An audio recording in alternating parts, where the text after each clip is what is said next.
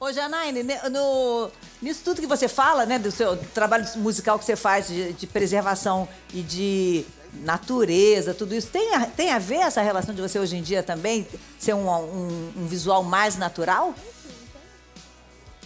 Definitely. Sem dúvida. I think for if you wear makeup, it's fine, Acho que se você usar more maquiagem, tudo bem, mas mais importante ainda é ter certeza de que a we'll por baixo está bem cuidada. Utilizo muito óleo de coco, faço muita hidratação, esse tipo de coisa.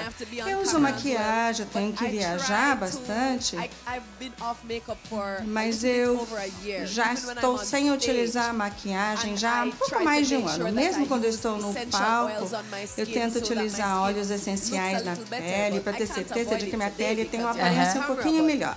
Obviamente, não consegui evitar hoje porque vou estar com a câmera e tudo.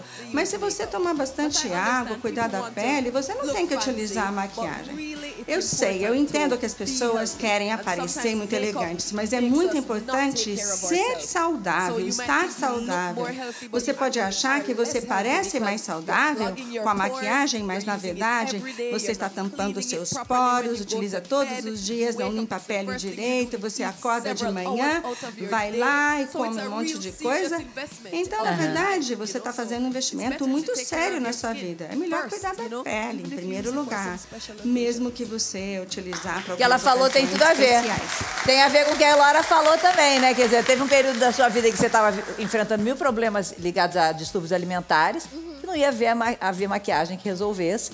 Que hoje você é mais saudável, com certeza você consegue rir da- disso, você consegue tirar né, é, diversão da- das poses e tudo mais, continuar linda, o que é ótimo, né? Então tá tudo ali funcionando porque você começou a cuidar mais também das- do seu aspecto da E saúde. acho né? muito importante que ela falou sobre hidratar a pele e tal, porque quando eu comecei a hidratar mais a minha pele, meu rosto e tal, eu realmente passei a me sentir mais confortável sem maquiagem, sabe? Aham. Como é importante cuidar de verdade da Deixa eu perguntar pra Janaíne se, na, na- se isso é uma coisa muito brasileira, Janaíne, ou se, ou se você identifica nas mães jamaicanas algo do que você está vendo aqui também.